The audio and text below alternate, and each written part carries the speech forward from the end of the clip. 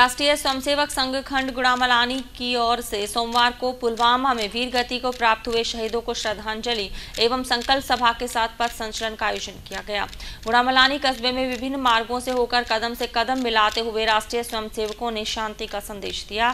साथ ही कार्यक्रम आयोजित कर अतिथियों, शहरवासियों एवं स्वयं सेवकों ने शहीदों को पुष्प अर्पित कर श्रद्धांजलि दी। गुड़ामलानी से अर्जुन दर्जी की रिपोर्ट। राष्ट्रीय स्वयंसेवक संघ खंड गोड़ामालानी के तत्वाधान में सोमवार को पुलवामा में वीर गति को प्राप्त हुए शहीदों को श्रद्धांजलि देने के लिए संकल्प सभा एवं पथ संचलन का आयोजन किया गया। पथ संचलन गुड़ामालानी कस्बे के राणा प्रताप बाज़ार, जैन मोहला उदणियों का वास, अहिंसा सर्किल सहित विभिन्न मार्गों से होकर गुजरा।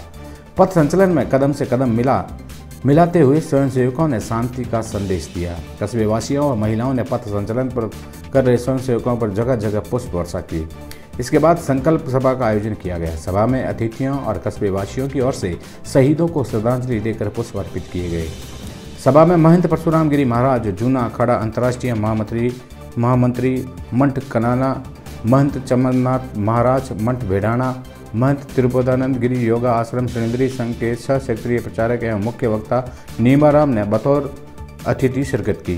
सभा को संबोधित करते हुए महंत परशुराम गिरी ने अपने उद्बोधन में पुलवामा आतंकी हमले की कड़े शब्दों में निंदा करते हुए वीर गति को प्राप्त हुए हमारे जवानों को श्रद्धांजलि दी।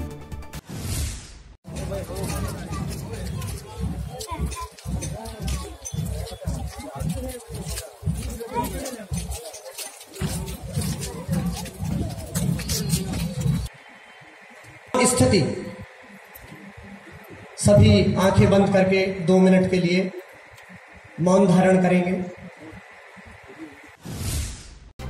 साथ ही ऐसी ऐसी घटना को अंजाम देने वाले आतंककारियों का सफाया करने के लिए सरकार से आह्वान किया।